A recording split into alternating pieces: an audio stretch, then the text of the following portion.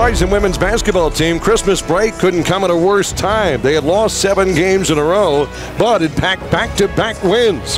Tonight, it is a team from the Big West, Cal State Fullerton in Fargo, to take on the NDSU Bison women. Shot fake, Yagi throws on top. Whittle, can she stay hot? Oh, crikey!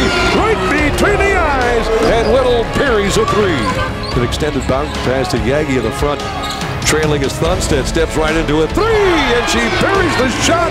Bison lead 6-3, roll, post touch, Whittle, step back, got it. Marena Whittle, she's got five. Gabriel working in left wing. On top, here's a southpaw three, count it. Karima Gabriel's got five. Two seconds to play here in the first half. Look at Nubla, went coast to coast and drove down the lane and put it in. Kick Thunstead out to Whittle. Can I make? Right between the eyes. Marena Whittle already in double figures with a dozen points. Inside Jones, backs into a shot, turns and banks it in.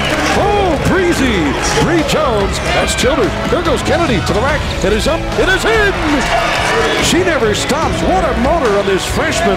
Little has it. Back comes North Dakota State. Ball caught. Touchdown, Bison. How about Childers in the back of the end zone? Childers going to fire one for three, and that's nothing but net. Baseball pass caught by Childers. Here she goes inside, playing a little demolition derby, and Childers bangs it in. It is all North Dakota State. North Dakota State 79, Cal State Fullerton 54. Check that 64. It's fantastic for the morale, for the, the psyche. It's really uh, it's a good thing to wrap up our, our non-conference play the way that we did that's been something we really worked on too. Like get to the person that's that's that's playing well. Um, it's just part part of uh, playing as a team. I think we did that today. The best thing for us is just continue playing the team game, trying to get as many people scoring as possible, um, and just sharing the ball.